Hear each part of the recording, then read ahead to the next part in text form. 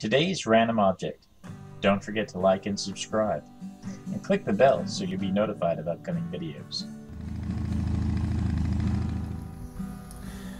The red fox is the largest of the true foxes and one of the most widely distributed members of the order Carnivora, being present across the entire northern hemisphere, including most of North America, Europe, and Asia, plus parts of northern Africa. It is listed as least concern by the IUCN. Its range has increased alongside human expansion, having been introduced to Australia, where it is considered harmful to native mammals and bird populations. Due to its presence in Australia, it is included on the list of the world's 100 worst invasive species. The red fox originated from smaller sized ancestors from Eurasia during the Middle Villafranchian period and colonized North America shortly after the Wisconsin glaciation.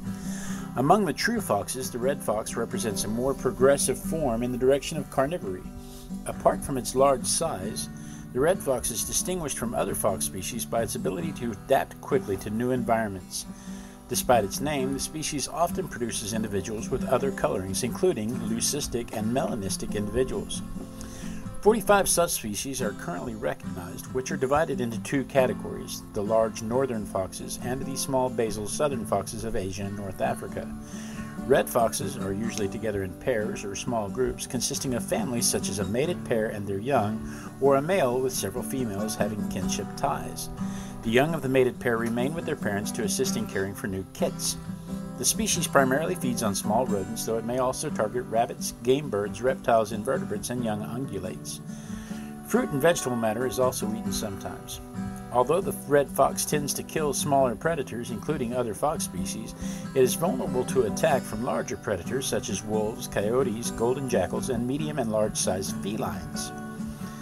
The species has a long history of association with humans, having been extensively hunted as a pest and a fur bearer for many centuries, as well as being represented in human folklore and mythology.